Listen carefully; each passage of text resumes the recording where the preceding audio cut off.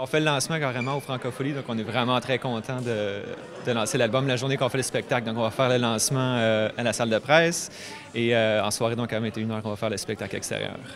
C'est vraiment énorme. Je pense que n'importe qui euh, qui fait de la musique en français a envie de jouer au Francophonie. C'est toujours vraiment un plaisir à chaque fois.